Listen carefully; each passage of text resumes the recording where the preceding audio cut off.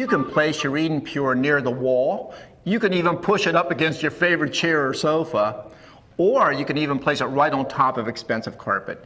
Eden Pure will never get hot. It will always stay mild and comfortably pleasant even to the touch. Well, Julius, you've given us a lot of good reasons to bring Eden Pure into our homes.